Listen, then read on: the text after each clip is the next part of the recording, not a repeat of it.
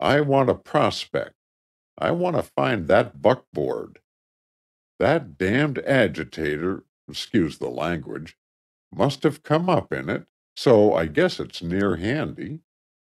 The fog's good and thick, so there's not a heap of chance of anybody locating us. Still He paused and glanced into the churchman's alert eyes. "Have a look to your gun," he went on with a quiet smile. "And well, you are a parson, but if anybody comes along and attempts to molest you, I'd use it if I were in your place."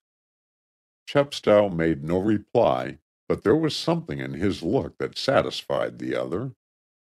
Mason hurried away, and the parson, left alone, leaned against the wall, prepared to wait for his return.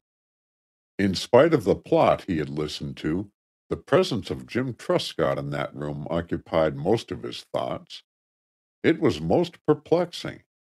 He tried every channel of supposition and argument, but none gave him any satisfactory explanation. One thing alone impressed its importance on his mind. That was the necessary of conveying a warning to Dave.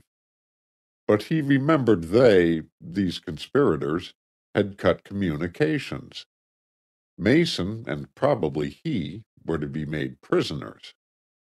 His ire roused. He blazed into a sudden fury.